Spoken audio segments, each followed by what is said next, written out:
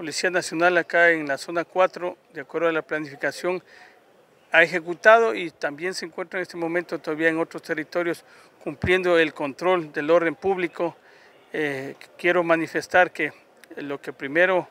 eh, eh, se ha presentado acá en nuestro territorio es el diálogo, creo que por parte de Policía Nacional en todos los territorios ha sido ello, la coordinación con los dirigentes, con las organizaciones sociales, campesinas, eh, diferentes federaciones que, han, que se han, eh, han, querido demostrar de una manera pacífica las diferentes movilizaciones, marchas, pues nosotros hemos garantizado ese derecho y les hemos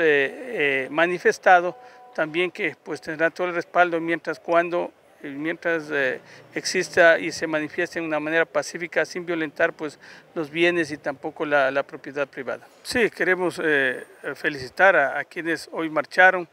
en donde antes de dar inicio a dichas eh, movilizaciones hemos socializado con los dirigentes, les hemos dado nuestro punto de vista en donde queremos garantizar derechos y libertades tanto del servicio policial como cuanto de la ciudadanía civil y creo que eso es muestra de ello. Eh, hubieron unos, unos, pliegos de algunas peticiones que entregaron acá al gobierno central representado por el gobernador, se les dio la apertura, entregaron, fueron una delegación de cinco personas, inmediatamente entregaron y salieron. Es una muestra que cuando existe el diálogo pues eh, pueden manifestar de una manera pacífica acá en, en la jurisdicción. Con relación a,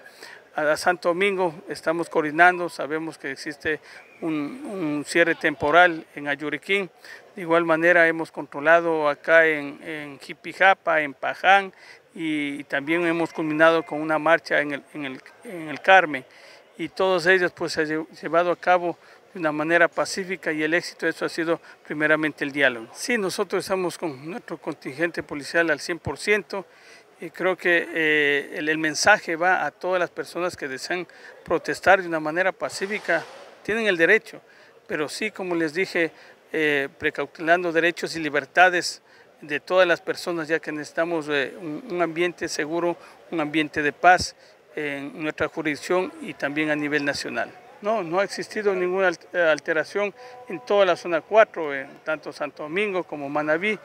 y esto es fruto de las coordinaciones que ha existido y creo que como Policía Nacional estamos preparados y capacitados y quien más somos garantes de los derechos de, las personas y esto es una demostración de todos estos 10 días que ha existido acá en nuestro territorio.